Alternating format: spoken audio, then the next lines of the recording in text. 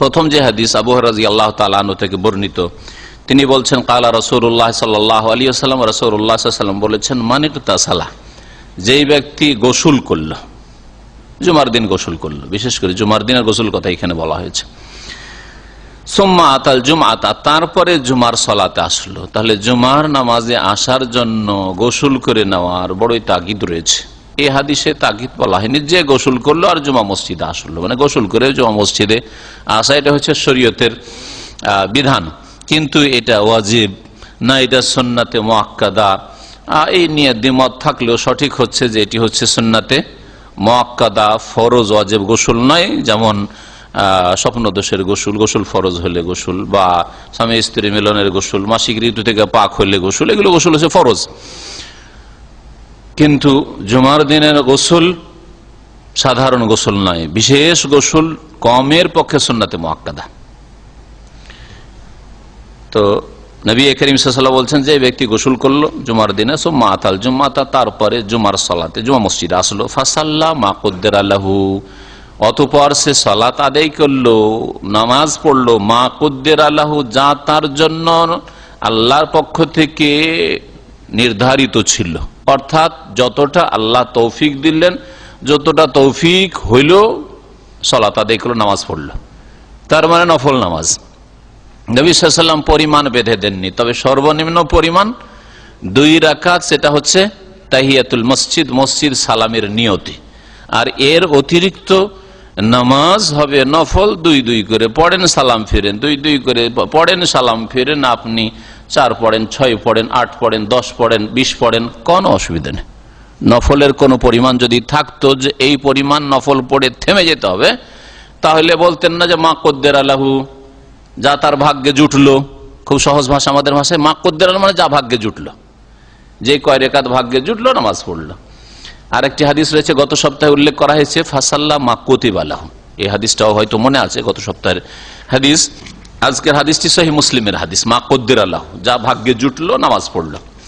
আর গত সপ্তাহে বলেছি যে জুমার আগে কাবলাল জুমা সন্নাতে মোয়াক্কাদা বলে কোন সন্ন্যত নেই যেটা আমাদের দেশের হানাফি ভাইয়েরা পড়ে থাকে। এইরকম কোন নামাজ নেই। তবে আছে যেটা মা কদ্দের আল্লাহ যা ভাগ্যে জুটলো, আর আছে যেটা, সেটা হচ্ছে হাদিসে মা কুতিব আল্লাহ হ্যাঁ যতটা তার জন্য লিখা ছিল মানে ভাগ্যে যেটা জুটলো, এই দুটো শব্দ আছে। তো এইভাবে যদি নামাজ আদায় করে, তারপরে কি করবে? সোম্মা আনসাতা, তারপরে নীরব হয়ে গেল। কখন নীরব হবে? যখন খতিব খুদবা শুরু করে দিবে। খুদবা শুরু হওয়ার আগে প্রয়োজনের কথা বলতে পারে। কিন্তু খুদবা শুরু হয়ে গেলে প্রয়োজনের কথা বলা চলবে না। হাত্তা ইয়াফরুক আল এমাম মিন খুদবাতে কতক্ষণ নীরব থাকবে, চুপ থাকবে, যতক্ষণ পর্যন্ত এমাম তার খুতবা থেকে ফারেক না হয়ে যাবে খুদবা সেরে না নেবে। সুমাইসাল্লি মাহু, তারপরে খতিবের সাথে কি করবে? নামাজ পড়বে। তাহলে এর দ্বারা বোঝা যায় একটি মশলা যে, যিনি খতিবি তিনি জুমার নামাজ পড়াবেন। যদি হয়তো এর বিপরীতটা বেশ কিছু আলামারা জায়জ বলেছে, অনেকে তো জায়জই বলেন না এটাকে। আমাদের দেশে অনেকে এরকম করে যে ইমাম সাহেব বলছে, আপনি খুদবাটা পড়িয়ে দেন। বা একটা মাদ্রাসার ছাত্র আসলে, তুমি খুদবাটা পড়িয়ে দাও।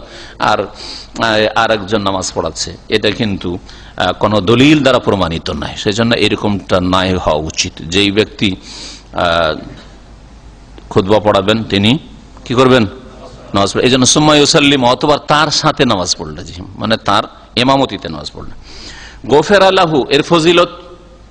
এই কাজগুলি যদি করেন, গোসল করলেন মসজিদে হেঁটে আসলেন। তারপরে সলাত আদে করলেন, নফল নামাজ পড়লেন খুদবা শুনলেন, তারপরে পাঁচ নম্বরে জুমার নামাজ পড়লেন। এই পাঁচটা কাজ যদি করেন, তাহলে ফজিলত কি? গোফের আল্লাহ মা বাইনাহু আবাইন আল জুমাতিল তার এই জুমার মাঝে আর আরেক জুমার মাঝে যতগুলি গোনা হইতে পারে, এর মাঝের গোনাগুলি কি আল্লাহ পাক কি করে দেবেন? মাফ করে দেবেন। তাহলে এক সপ্তাহের গনা মাফ করে দেবেন। যেই হাদিসগুলিতেই গোনা মাফের কথা রয়েছে, এগুলির অর্থ হচ্ছে সাগিরা ছোট গোনাগুলি আল্লাহ মাফ করবেন। কাবিরা গোনা কেউ চুরি করে থাকে বেইমানি করে থাকে, খেয়ানত করে থাকে মিথ্যা সাক্ষী দিয়ে থাকে, জেনা লিপ্ত থাকে, মদ খেয়ে থাকে জুয়া খেলে থাকে। কাবিরা গোনা না এগুলো? হ্যাঁ? তাহলে কি করতে হবে? এগুলো দিয়ে মাফ? জমা পড়ে মাফ? নামাজ পড়েনি? ফজর পড়েনি, সূর্য উঠিয়ে দিয়েছে। কাবিরা গোনা, জামাত ছেড়েছে। আর বলবে যে এই জুমা পড়ে মাফ হয়ে যাবে নাকি? এই পাঁচটা কাজ করে জুমার সাথে সংশ্লিষ্ট পাঁচটা কাজ করেন না। ওর জন্য তবা শর্ত রয়েছে।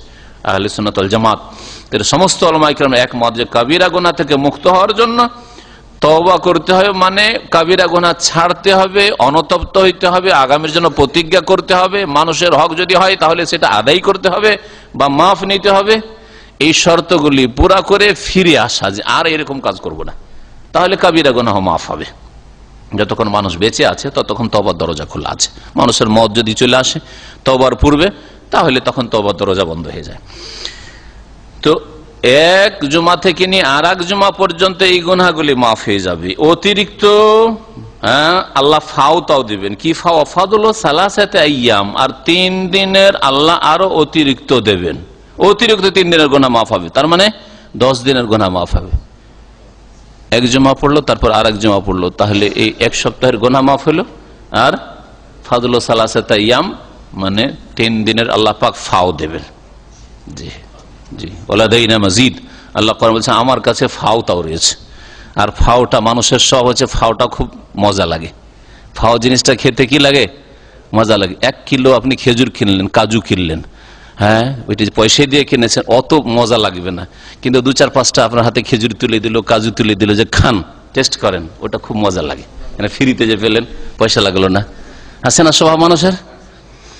বেগুন কিনলেন, আলু কিনলেন, দুটো আলু আর উঠিয়ে দিলে, বেগুন উঠিয়ে দিল, ওই ওইটা মজা লাগে পেতে, যে এটি বেশি পেলাম। জি হ্যাঁ। তো আল্লাহ পাকের কাছে আল্লাহ দেয় না মজিদ। আল্লাহ বলছেন, আমার কাছে মসজিদ অতিরিক্ত ফাও রয়েছে, আল্লাহর কাছে ফাও রয়েছে।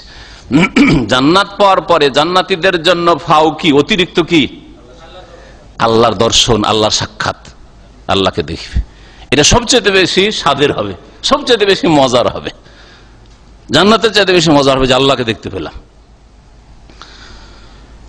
দশ দিনের গোনা তাহলে মাফ হবে। হাদিস সহি রহ মুসলিম। ইমাম মুসলিম রহমতুল্লাহ তার সহি কিতাবে উল্লেখ করেছেন।